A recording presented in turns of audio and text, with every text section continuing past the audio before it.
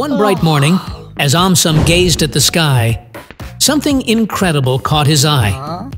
A giant elevator, taller than any building on Earth, stretched all the way from the ground up into the clouds and beyond. With a backpack filled with snacks, a water bottle, and his lucky cap, he stepped inside the enormous elevator. The doors closed with a soft whoosh, and suddenly AumSum was rising higher and higher, leaving behind the cities, forests, and oceans of Earth. At first, the view was breathtaking. AumSum could see the whole world beneath him. But the adventure wasn't over yet.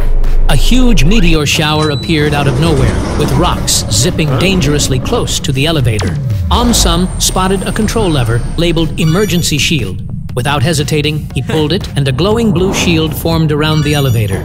The rocks bounced harmlessly off the shield as AumSum watched in awe. Finally, the elevator reached its destination. The doors opened, and AumSum stepped onto the dusty surface of the moon. He gazed at the earth shining in the distance and felt proud. Hmm,